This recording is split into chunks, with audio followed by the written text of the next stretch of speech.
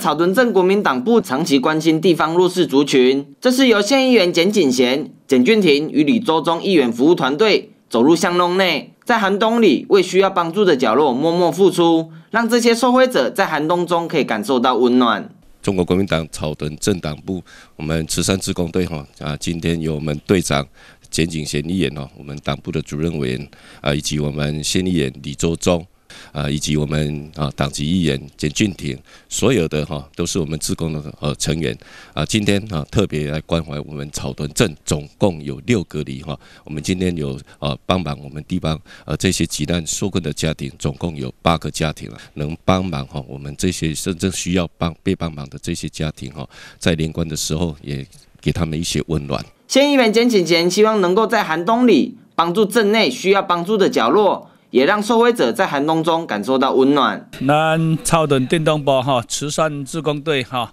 啊来个咱啊草屯哈，员工啊几个地方哈啊拢来做着啊咱的慈善哈啊急难救助啊这个工课哈啊真正伫咱镇内咧还佫足济吼啊需要来帮咱啊东部咧啊都是。啊，共款就是用这个心吼，啊，一直的心吼，持续啊来做吼，咱嘛希望吼，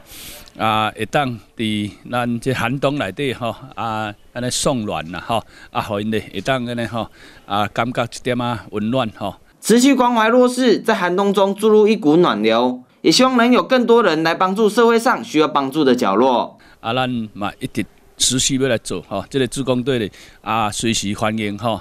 咱所有的店面吼，每一个时间啊，若有拄着，也是讲啊，知影厝边头尾啊需要帮助的吼，啊，阮拢一直会来做做伙啊来关心吼，啊嘛希望讲啊尽一点啊啊，咱中国国民党啊一些小可爱心意啦吼，啊咱嘛希望讲咱这个寒冬大家拢过了啊真温暖。希望在这次草屯镇国民党部的帮助之下，让受惠者在寒冬中感受到温暖，也希望能有更多善心人士共襄盛举。记者刘永胜草屯采访报道。